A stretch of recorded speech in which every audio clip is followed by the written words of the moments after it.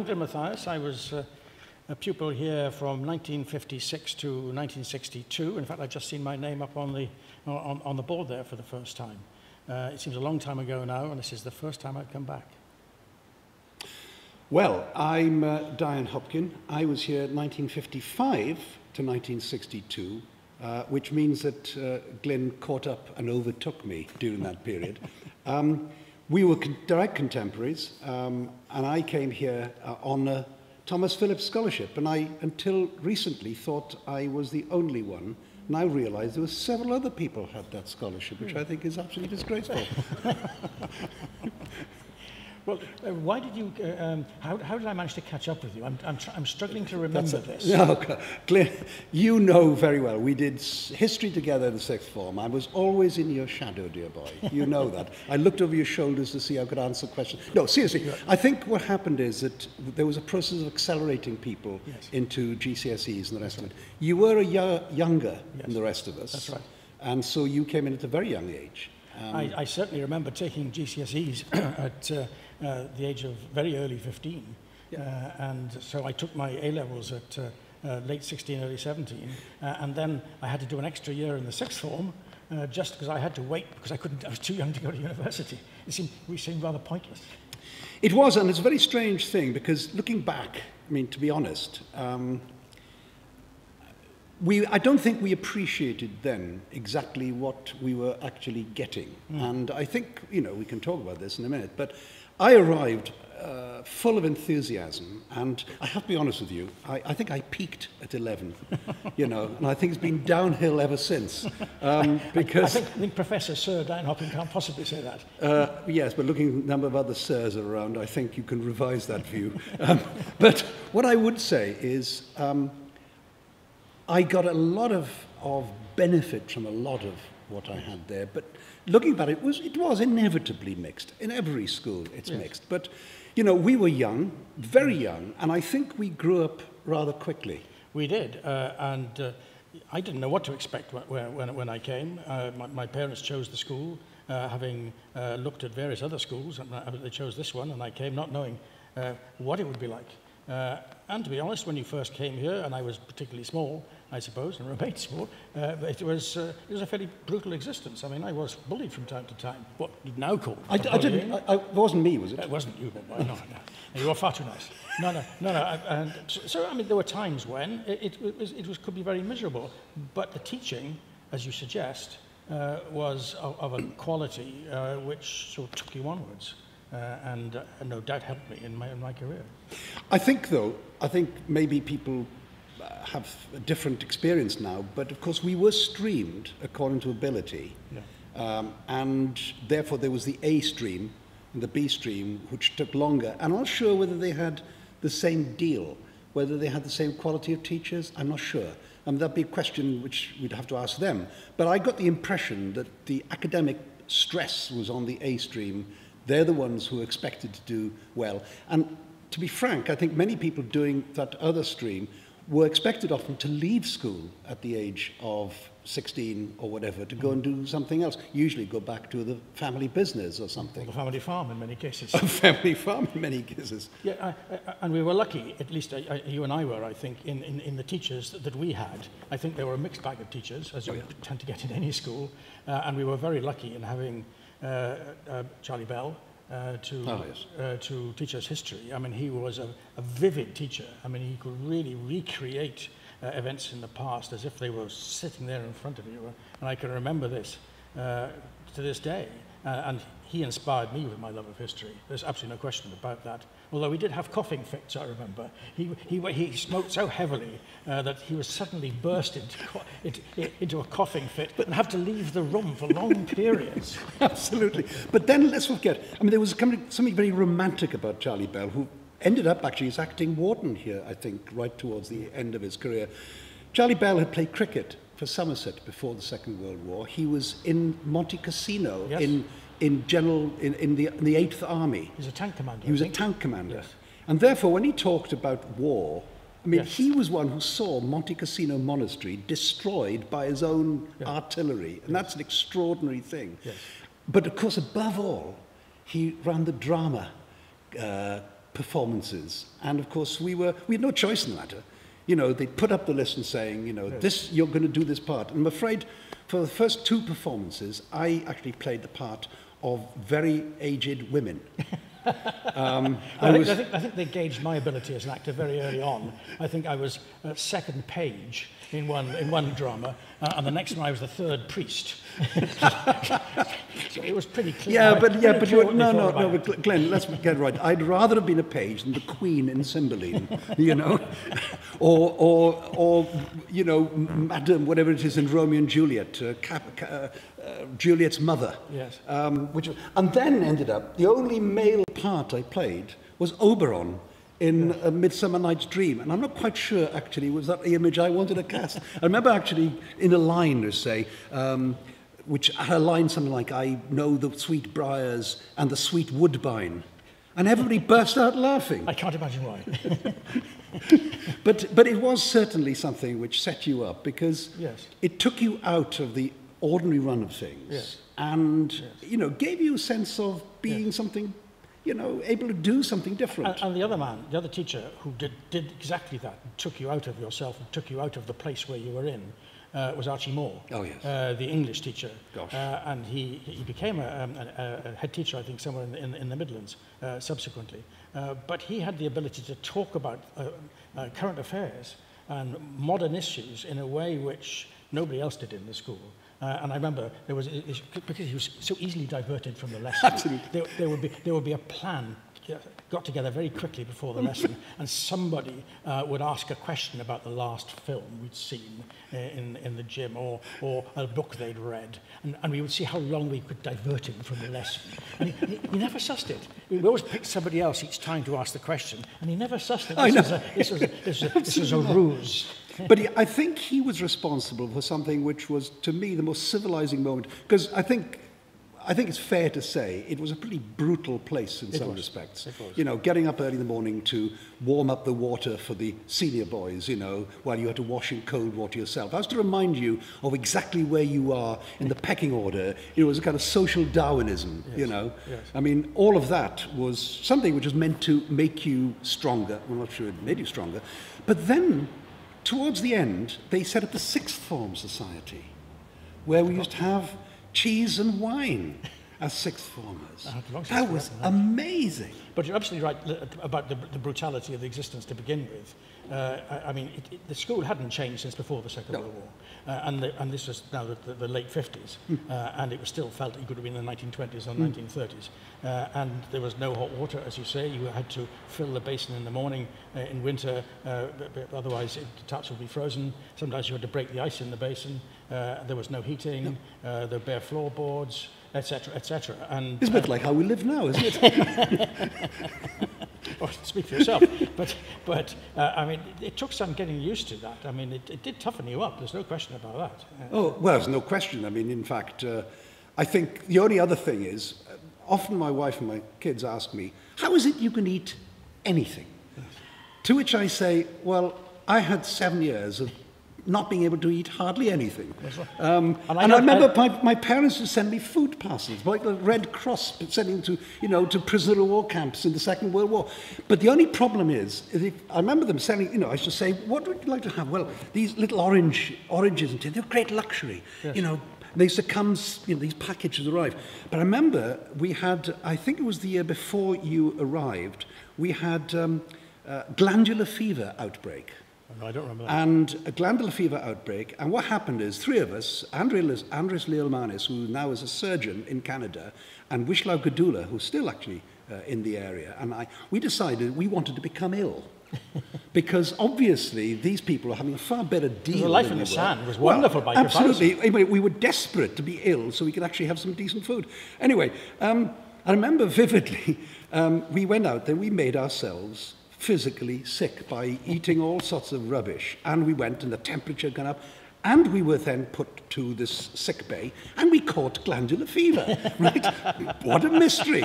But what happened is, when, when my parents sent the food parcel, I was told by the matron, she said, uh, Hopkin, um, your food parcel arrived. So it's only fair that we should share it out amongst everybody. Do you know, I suddenly realised I'm not a Democrat at all. I don't believe in this stuff.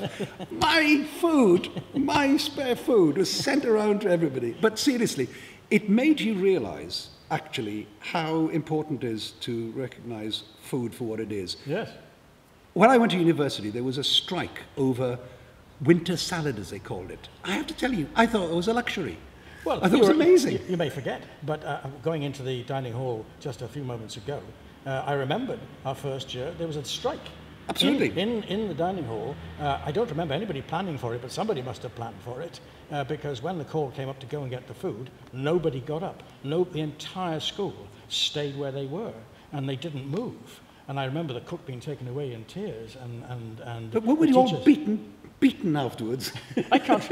Well, there were too many. There were too many of us in that case to beat. no, but it was, but the food, but having said that, it did really, and I'm, I'm not trying to romanticize this, but it did really make you appreciate actually that whatever's put in front of you has got some kind of virtue. I- I think- You know, I think I'm- even Irish stew. I, I think it ruined my table manners forever, mind you.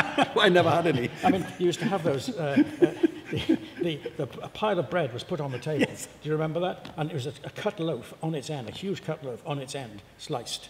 Uh, and you had to wait till the, to the word, uh, and then you, you got your hand out as fast as you could. It was like this to get a, a piece of a piece of bread.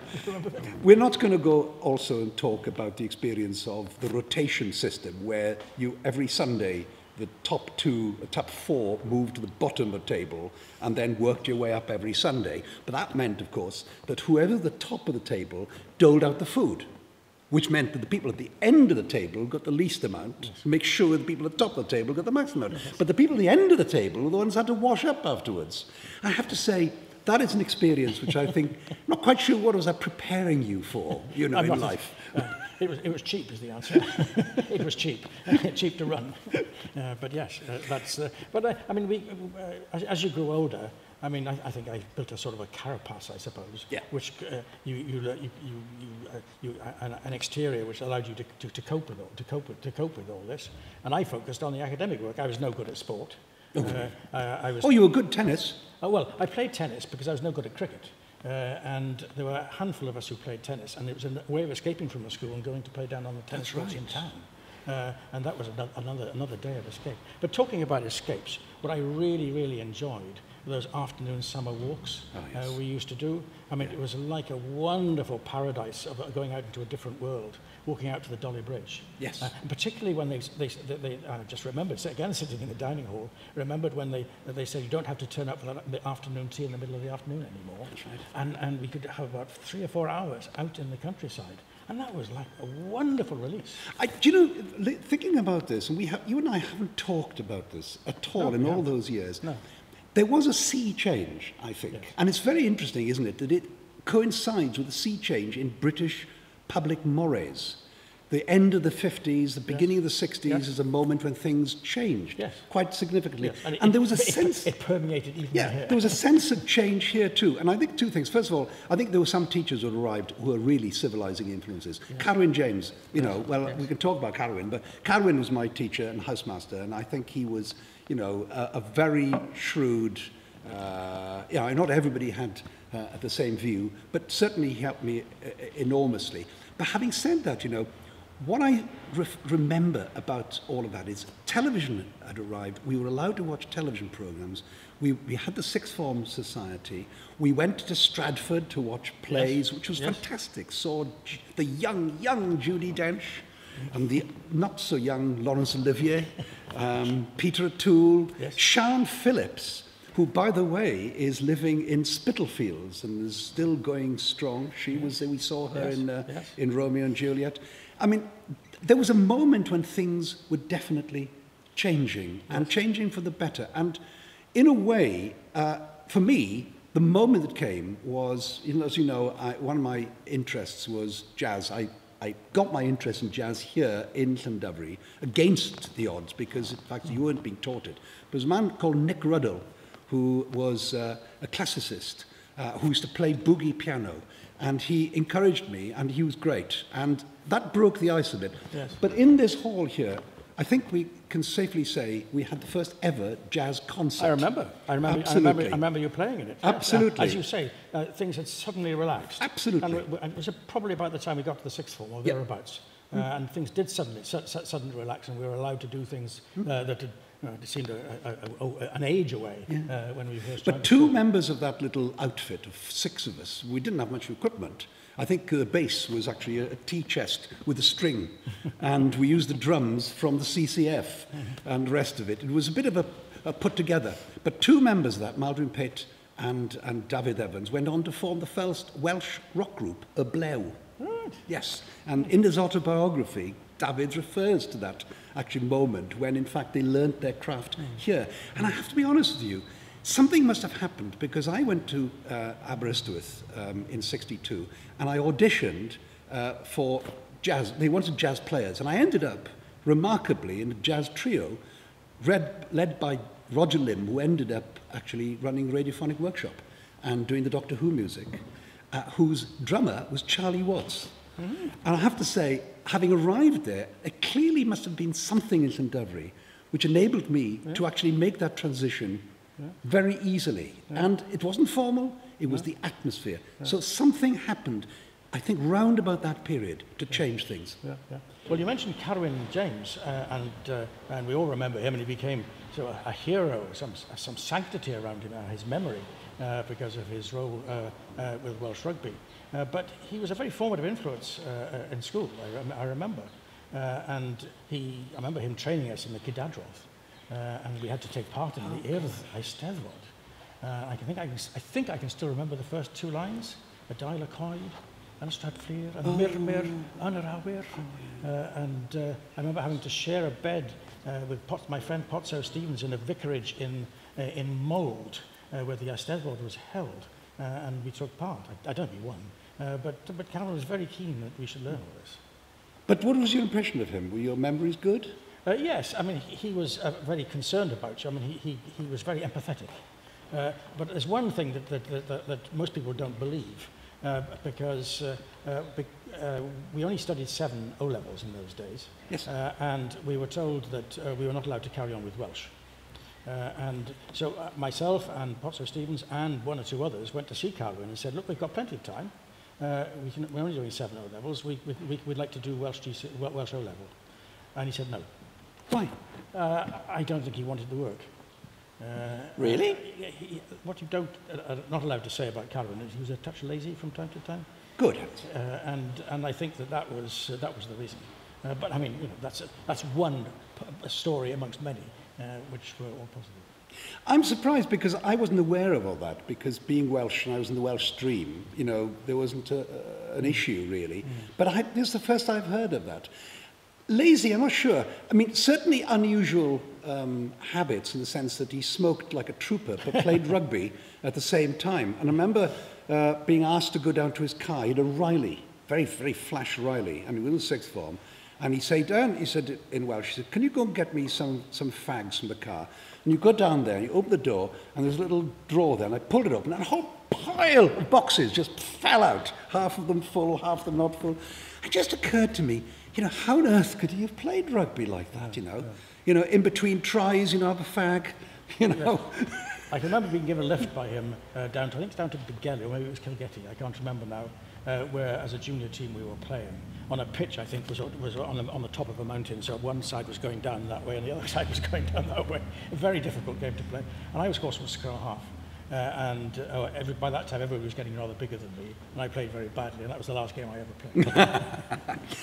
You you remind me of something else, though, which is quite interesting. The cultural side, we had Eisteddfods, Yes. which were Eisteddfodau, which was really quite a high point because, you know, you had to compete. I have to say, there were, in my peer group, there were a couple of very, very good pianists. So I never really uh, did very well classically. One stayed here to teach, Thomas. Um, Hugh Thomas, I think his name. Hugh, of course, John Hugh. Uh, he was here for years and years. Uh, he was a very good pianist. So you always used to, you know, appalling performances used to beat me all the time. But, um, But that's why I turned to jazz, because it's much easier. Nobody else could do that. Uh, but, but we also competed in the most unusual things. We actually had a Morris dancing group. I don't remember that. Yeah, you were part of that. You were far too sophisticated. Um, we, we actually went to, did Morris dancing in Cardiff uh, Sophia Gardens with a pig's bladder and John Williams, who uh, ended up running uh, a newsagent shop. And uh, he used to keep cricket scores, John Williams, uh, keep scores for cricket club. But he, he was going around beating us with this pig's bladder. and, you know, we danced around like that. I, what on earth were we thinking of? I mean, I have no idea. But we also competed very successfully, and this is the other great experience. We, we did Cydadrodd in Welsh to the uh, accompaniment of a harp. And somebody brilliant, I think it was Carwyn, fixed that the harpist was Anne Griffiths, who became, of course, one of the most celebrated uh, harpists of all. So we turned up the National Eisteddfod. It was a no contest. How could anybody possibly compete? We, did, we, we could have been the worst reciters in the world, but we had the best accompanist in the world. So we just walked it. And it was, you know, ultra modern. It was brilliant. Did you take any part in debates? Uh, I must have, but I must say my memory has been bleached. Possibly for good reason. no, but they were quite challenging things, weren't yes, they? Yeah. You have to stand up and defend a position for maybe five, ten minutes mm. and answer, you know, the criticisms. It's a tremendous preparation because what it gives you the confidence to stand up there and, you know, make a fool of yourself. Ask yourself all these years later, uh, and this is the first time you've been back, isn't it? It's the first time I've been back. Nobody asked me to come back, but uh, oh. uh, that's, that's, that's, a feeble, that's, that's a feeble no, they, they, no, no, that's they thought, you were too, they thought you were too lofty. You're too important. Um, but what do you think, you know, in reflection, uh, now and again, I'll, I'll just tell the story first and then I'll answer your question. Um, as you will remember, um, as prefects, we, we were, uh, had the, the obligation uh, to administer corporal punishment. Uh, a, a, a job which I did in some, somewhat timidly, I remember. Uh, but I'd forgotten all about this. Uh, and about uh, 25 years ago, 30 years ago, I was at a Conservative Party conference. And as a journalist, I hasten to say, Uh, and uh, somebody tapped me on the shoulder and said, come and see this guy, he wants to tell you a story. Uh, and I, so I went over, uh, and it was Rod Richards. Oh, my goodness. Uh, a somewhat notorious Yes, uh, indeed. conservative Yes, MP. indeed. At St. Leslie that- boy, went to the same primary school as me. Yes, we all at, go there. At, at, at that time. And he said, I remember you, he said. You tanned me uh, in Llandovery uh, after some mini riot in the dormitory. Uh, and I said, did I? I have no memory of it at all. But he reminded me of this, of, of, of this event. And I was telling this story uh, to my father, who had a, a fellow poet called Raymond Garlick, Yeah. Uh, who was sitting next to him. And I was telling this story. Uh, and uh, there was a pause of a few seconds. And Raymond Garlick sort of took a puff of his pipe. And he said, well then, he said, at least you would die knowing you did something worthwhile. Well, can I, can I be morally superior to you, uh, Glyn? I'm not quite sure on what I'm going to be very morally superior. You see, uh, I too became a prefect, as did Eckley. And um, we decided that we were not prepared to tan or punish anybody. I came to the conclusion that it was morally reprehensible. And in fact, I went to see uh, the chaplain who tried to persuade me that it was perfectly all right in the scriptures to go beat little children. um, uh, I also have to make another confession, which may or may not, in fact, go down well in the present era. Uh, I resigned from the CCF on grounds of conscience. And Geraint Ackley and I uh, and Yolo were called the Conchies for a period, which I thought was a badge of honour. Uh, but anyway, but we refused to punish anybody, and we were stripped of our ranks of pre- pre- uh, prefects. Oh, good and you. we were restored to the depths of the peasantry. That's something I, I admire, but, but I never joined the CCF. I know you didn't. because, because my father was a pacifist. I know. Uh, and he, uh, he asked me, do not join the CCF. And being an obedient son, I didn't join the CCF. And there Good were for you. There were two or three of us. Yeah. Uh, and we were told that if we didn't join the CCF, were going to have to clear stones from Tredegar. Uh, and I gather this was uh, for reasons that because after the war it had been dug That's up right. for potatoes and, and there were a lot of stones in the ground. So previous generation of students had had to do that. Uh, but I never had to do it. They just forgot about us. And we sat in the corner in the classroom and read, uh, and, and read books. Yeah, but you see, because we did it rather ostentatiously, we were punished. we were sent to learn Cerdant with a famous that's a singer that's, that's a called punishment. King Penillion. so when everybody else was, was doing their marching, we were learning cerdd and poetry. I have to say, there was something wrong with it.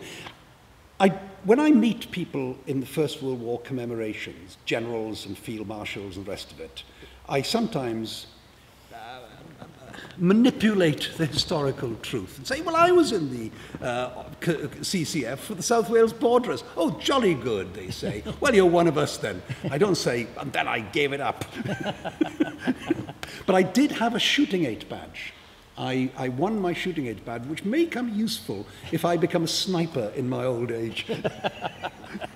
Why were you allowed to do, do shoot if you weren't in the CCF? No, no, in my one year I was in the Oh, CCF. when you were in I, I did one year, I did one year of camp, and I decided that uh, that was more than enough morally. But, uh, but, you know, that's, that's, I think probably I was a useless soldier as well, which doesn't help. But the one major difference now, of course, uh, which you have to remember, uh, is that there were no girls in the school in our time. Uh, and Not, not legally. Oh, speak for yourself. uh, and, uh, and, uh, and there are now. Uh, and th- uh, that all boys element, I, I think, was another sort of fairly Yes, harsh um, uh, element of, of, of, of the school. And the presence of, of, of girls has almost certainly softened the, the, the, the, the establishment of Absolutely. And the only time we came into, into any contact with girls when you were, when you were competing in the, in the Eisteddfods. Yes. And, you know, there was these extraordinary people. Gosh, you know, there's, there's another gender. Wow, you know, haven't seen this before. Um, but that probably, I think, probably caused some people a few problems later on in life. I'm quite sure of it. I, I'm not going to go into psychology of single-sex boarding schools, but, but I, I, I, I'm almost certain there was some issue there. The other thing, I think, looking back, is you can't rewrite history. You know that because you're a historian, and much as we'd love to rewrite history, you can't. And therefore, you can't say, what if we had never been to Llandovery? Hmm, you can't. What do you think, though? Uh, well, Llandovery certainly prepared me uh, for the, uh, the, the outside world uh, by toughening me up, uh, creating a, a sort of, a, a, allowing me to form a, a carapace around me, uh, which helped preserve me um, in school, but helped me preserve me in later life. Uh, so because the kind of job I did, uh, one came under tremendous pressure. Yes. Uh, as a political editor uh, in London, uh, political parties would try to put pressure on you, politicians would try to put pressure on you, and that ability to be independent uh, and, regard, and, and uh, take account of what people say, but not necessarily follow what they say. Uh, I think at least my, my existence in Llandovery helped me to create that persona which, which, which allowed me to do that. I, th- I think it's a very interesting point. And if you look around the room here, you'll see honours boards for going back, well, some of them go back to the 19th century. A number of them in gold is Indian civil service. Yeah? and I think the whole point is it prepared you for actually being able to lead and provide discipline for people, arguably, they believed, didn't have any discipline. A bit arrogant. sure It's a bit arrogant, of course it is. But they regard it as the pinnacle of achievement. And if you could survive seven years of the kind of brutal existence of some of these schools, Yes. then you could do anything. Yes, Yeah? there's an element of truth in that. I think there is an element of truth in that. an element of truth Yeah, in that. absolutely. The one other thing I would I, I say... however, I think it's perfectly possible to become a very civilized human being without going through Oh. I, I, well, let's not dispute that for one moment. There's one other thing too. When you went to university, most of my contemporaries in university, not like you, because you went to Oxford, where many had been in boarding school. In my case, very few had been at boarding school, so many of them actually were very nostalgic of their homes. They couldn't, they, they weren't able to go back home for, you know, the, the meals, you know, being prepared at home. They were used to home comforts, and they found it very difficult. I have to tell you, I found Hall of Residence and anything in university pure luxury. pure luxury compared with, you know, right. I had my own room. Absolutely. Good heavens, you know. Well, I, well, you, I, were, you, you were able to, you had hot water. Well, at, at, at, Jesus, I had to share a room my first year.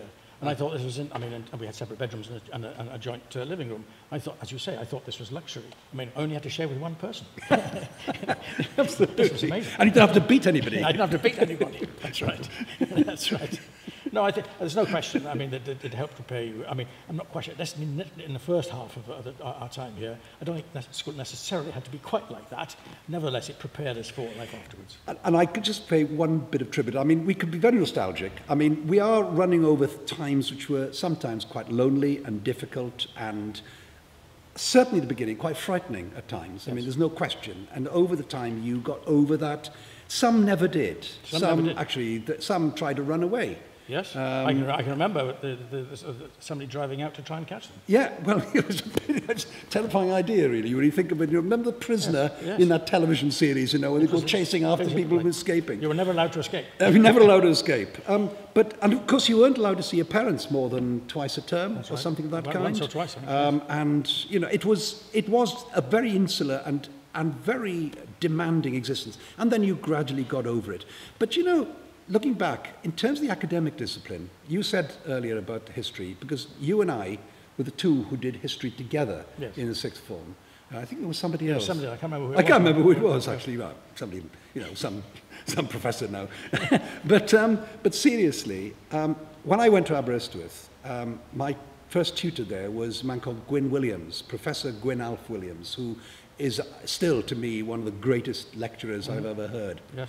And I wrote an essay, and he called me in, and he said, Do you know, he said, I don't know where you were taught history, but whoever taught you history did a bloody good job. Mm. And I thought, that's pretty remarkable. You, it was remarkable. And of course, from there on, it was downhill.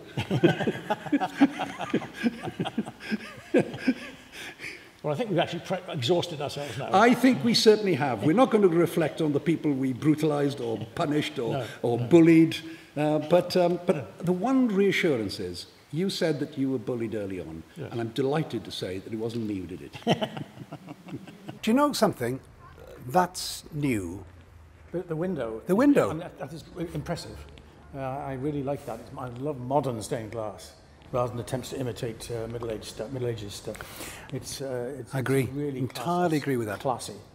And do you know something? To my eternal shame, I never really paid much attention to the First World War memorial. Apparently, it's been redone. I was, I was, going to say it doesn't look like the one been, I remember. It's been re, uh, uh, redone because apparently there were some names missing, uh, and uh, so that it's now it's, it's been redone. I think it's fantastic, though. Were you a chorister? Certainly not. I was. I sat there. I wasn't a junior chorister. I was, uh, I was with the, well, the, the, our, the baritones. Our, in our day, the benches were uh, uh, lateral. They were lateral. These have been changed around. Yeah. And I was somewhere down the back there, uh, which is where my usual place. But it's the same altar. Yes. Yes. It it's is. just the glass is different, or is it? it yes, the glass is different, and it really lifts it. I okay, think. it does. It's a, yes. I, I have no recollection of any sermons in here. Uh, None whatever. Well, you weren't listening. I was listening. never listening. I was sitting down. there. But we sang here. And of course, they introduced Sung Eucharist. Yes. Which was high church stuff. Yes, it was So, and we sang, sung Merbecke. Or is it Marlek or something? Anyway, I can't remember now. But it was all these, you know, sort of medieval chanting. There was, one, there was one point in the prayers which I always worried about. Uh, because occasionally they would get to mentioning St. Matthias who, if you will remember, uh, was on the bench, on the, bench, on the substitutes bench for the disciples. Uh, and and I, everyone would poke me like this to it in the service if that, if that happened. but uh, otherwise, um, and uh, I there were moments to be endured, I think, rather than.